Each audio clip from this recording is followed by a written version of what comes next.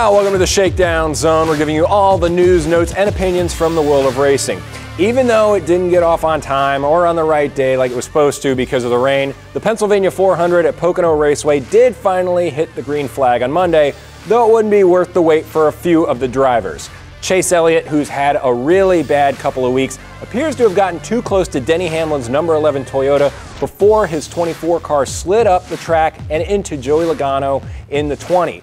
Joey had led 38 laps in the 160 lap event, but went to the garage to make some repairs. When he returned to the race, he would end up finishing in 37th. But the real obstacle in this race would be the weather, and when the fog and rain came, NASCAR brought the, the red flag out and the teams to pit road on lap 132. Rookie Chris Buescher would end up making his final tank of Sunoco fuel last from lap 107 and gambled on staying out when the leaders would pit. Buescher's small team Front Row Motorsports had not won in 118 races. Let's hear from the first time Sprint Cup Series winner.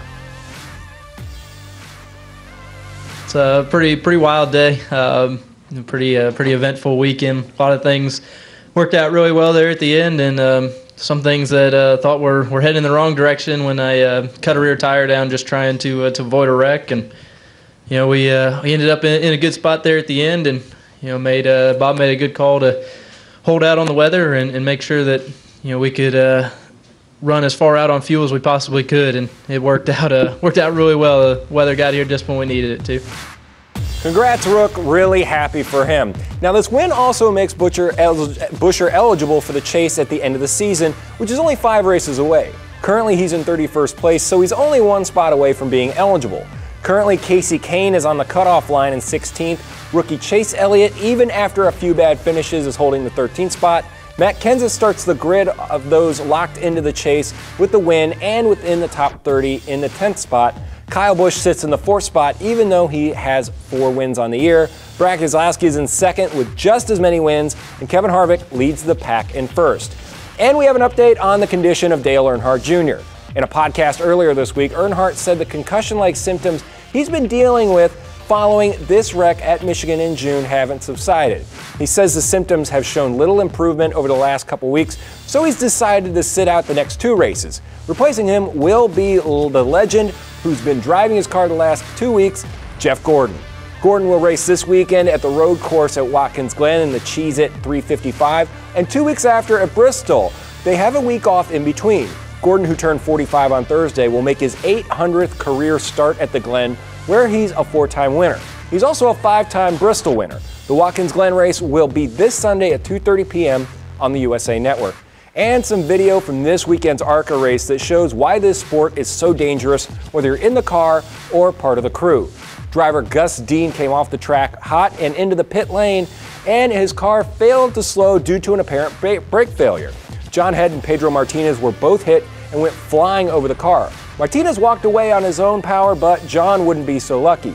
A GoFundMe has been set up to help him with some of his medical expenses. You can check it out at gofundme.com slash John House.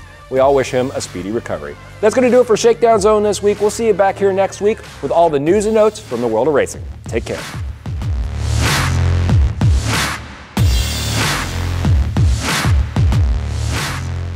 Thanks, Matt. I love a good shakedown zone every day. Blogger Nick Greisman was playing weatherman recently during a storm in Phoenix.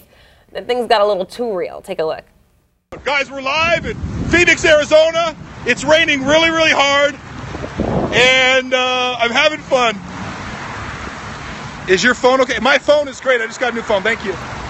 Okay, I'm gonna go underneath here. Whoa! Now the wind is going real. Whoa!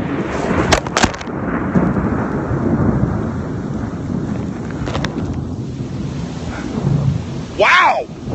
That thing hit like right next to me. Woo! That was fun. What a cuckoo nut. I feel like he got up like Evel Knievel, like, I'm okay. Yeah, I'm okay. okay. um, Nick was showing off the wind and the rain on the app Periscope when some lightning struck nearby. The phone got knocked out of his hand and he ran for cover, obviously. That is terrifying. I know. But I it's don't kind play of with weather. I would be out there with him as well, Snapchatting. You would have been the one that got zapped because he was okay. it was right by him though. He said he, you would have been the one electrocuted. My phone would have ended up on the floor. I would have been more concerned about my phone falling than that lightning actually striking me. Like, no, not the phone. the millennial way. There's still more to come on Studio D. We're looking at the list of Rolling Stone's greatest singers, see who made the top 100, plus the dangers of sitting in the wrong salon chair. Watch out for the bad haircut viral when Studio D comes back.